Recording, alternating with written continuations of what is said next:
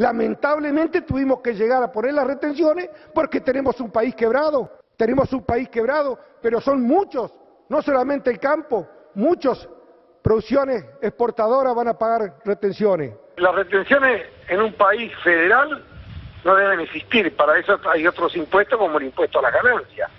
Esto lo que hace es resentir más a la producción, ya la vivimos a esto. Son 11 mil millones de pesos que se va a recaudar. Tenemos 15 mil de, de intereses, así que decirle a muchos que por ahí dice que se va a resentir, se va a resentir la Argentina, no. Esto lo que hace es resentir más a la producción. Lo van a pagar las industrias con todo el esfuerzo, van a pagar los intereses de la deuda.